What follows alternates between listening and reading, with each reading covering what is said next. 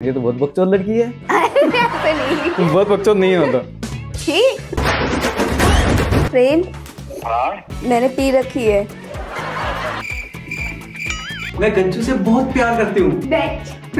भाई ये court room है क्या? नूर पे सेकंड इल्ज़ाम ये है कि तू कहाँ पे पंचर निकालता था?